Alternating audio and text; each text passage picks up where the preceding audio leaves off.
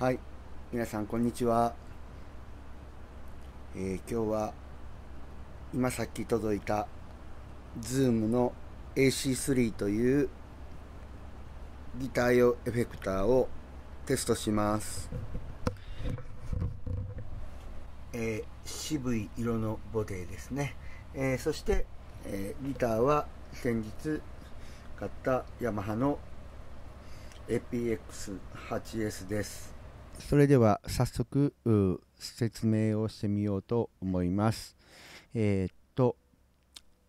Zoom アコースティッククリエイター AC3、えー、まだ発売になってそんなに経ってないようです。えー、今日届きました。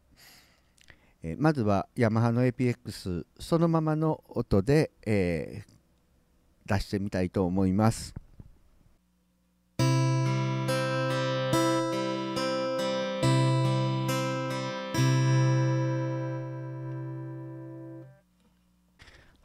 えー、次はあ僕がちょっと気に入ってる機能はこのコンプレッサーです。えー、コンプレッサーのかかりがとってもよくてアルペジオをする僕にとってはあとっても音圧が稼げて迫力のあるアルペジオが弾けます。えー、ちょっとやってみます。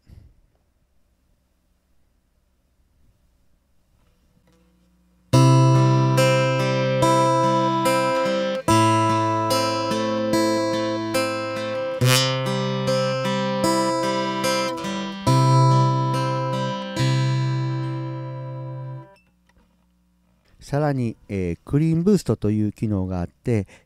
ストロークとアルペジオの違い、えー、それで音圧を稼いだり、えー、もしくはあ乾燥の時に、えちょっとリードを入れたい時に、え目立たすように、え上げたい、え9デシベルまで上げることができます、えちょっとあえて分かりやすく、えやってみます。まずはノーマル。そして、えー、スイッチオンにしてみますので、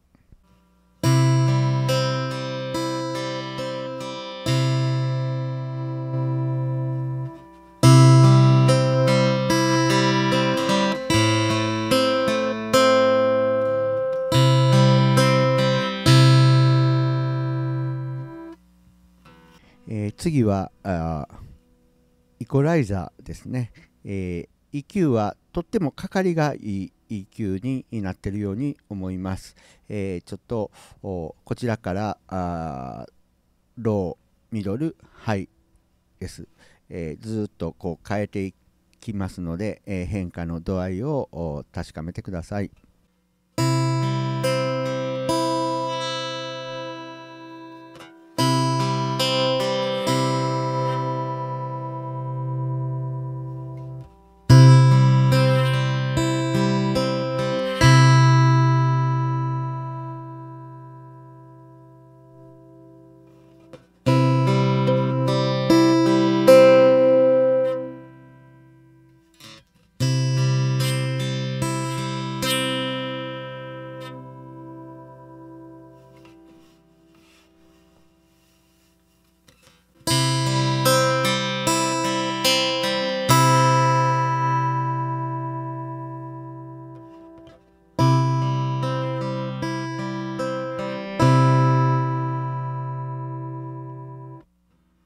えー、とってもかかりがしっかりしていて、えー、すごく分かりやすい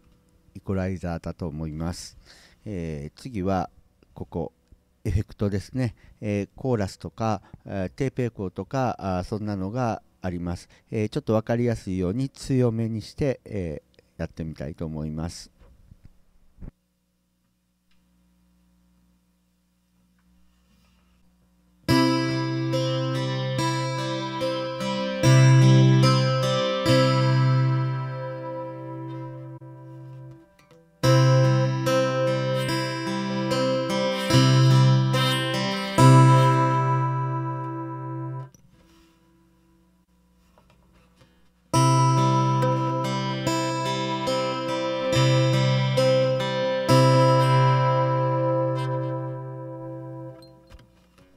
はい、えー、これがエフェクターです。えー、そして、えー、次はここがあリバーブ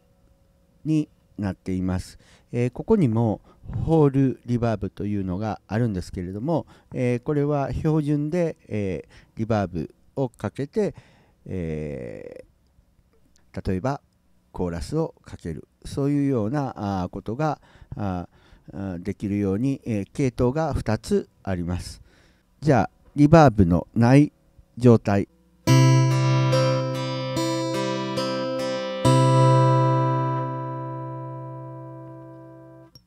リバーブをかけます。これも分かりやすいようにちょっと強めで。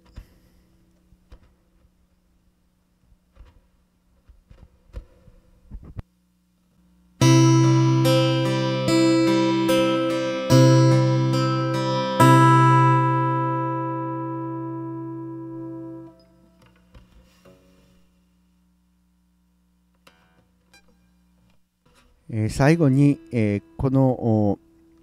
マシンの最大の特徴であるよギターモデリングですね、えー、ギブソンの音に近づけたりマーチンの音に近づけたりとかあそういうような、えー、ギターのモデル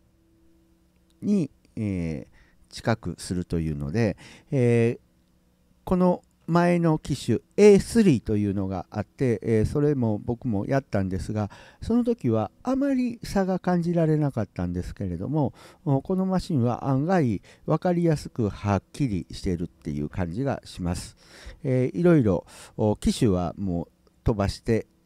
ざっとこうやってみますので、えー、いろんな音が出るということをお聞きください。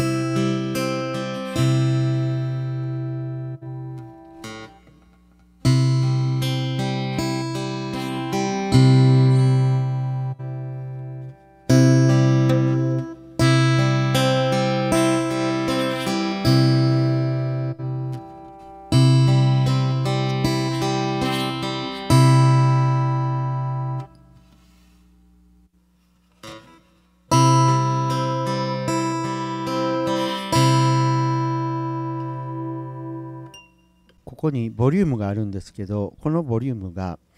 単に普通は、えアウトプットのボリュームを上げたり下げたりというのが多いんですがこれは入ってくる音入力に対してとアウトプットを自動的にバランスのいい形で、え、上げていく。という、えー、一応特許出願技術らしいです、えー、そんなものが埋まった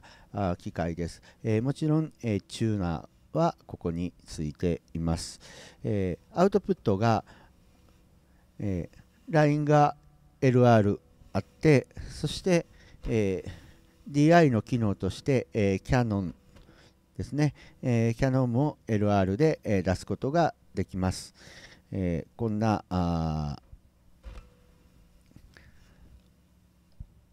マシンが、えー、今日届きましたので